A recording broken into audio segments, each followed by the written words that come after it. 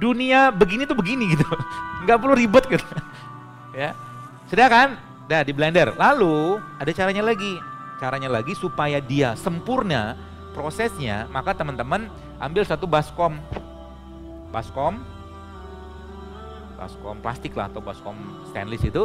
Lalu baskom itu Anda isi es.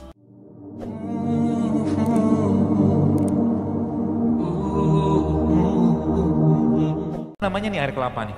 Air kelapa ini, kan saya bilang tadi asam amino dia. Dia punya asam amino tinggi sekali. Jadi nanti Anda blender air kelapa ini sama ininya. Sama dagingnya. Kalau saya tunjukin nanti lama, nggak usah lah. Kebayang lah ya. Lalu beliau ini, terus sekalian, dia menjadi source of enzim yang luar biasa. Ya, caranya gimana? Kita topping. Kita topping dengan berbagai macam bahan. Halo? Mati ya? Enggak. Kita topping dengan berbagai macam bahan. Caranya gimana? Ada blender ini, lalu Anda mau campur apa? Silakan aja. Anda mau campur nanas boleh, mau campur jahe boleh, dalam proporsional ya. Jangan tanya lagi berapa gram.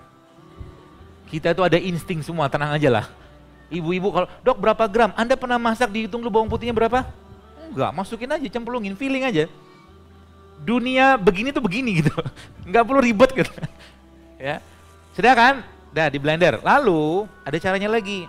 Caranya lagi supaya dia sempurna prosesnya, maka teman-teman ambil satu baskom.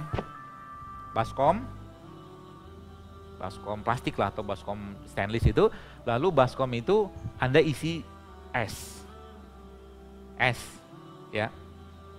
Lalu apa yang terjadi? Uh, ini beliau ini kan sudah sebulan ini 300 mili atau 400 mili something lah ya. Sama si jahe tadi atau kunyit. Anda campur apa aja silakan. Dan itu efeknya luar biasa. Bisa sebagai apa? Sebagian besar penyakit-penyakit berhubungan dengan pencernaan, bahkan kanker atau imun itu kan insya Allah reda dengan ini. ya, nah lalu gimana? Lalu Anda ambil gelas, sebulan ini gelas gitu kan. Gelas tadi, ini baskomnya ya. Di sekeliling baskom ini ada es. Oke? Okay?